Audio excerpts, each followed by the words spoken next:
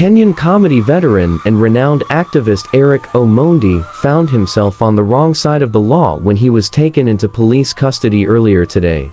The impassioned entertainer, known for bringing smiles to millions, was at the forefront of a spirited demonstration comprised of small-scale vegetable vendors, locally known as Mama Mboga. These grassroots entrepreneurs banded together under Omondi's leadership to voice their concerns, in opposition to the recently proposed finance bill, which could significantly affect their livelihoods. The charged atmosphere was a testament to the high stakes for these local business owners as they rallied around Omondi, who has become an unexpected but fierce advocate for their cause.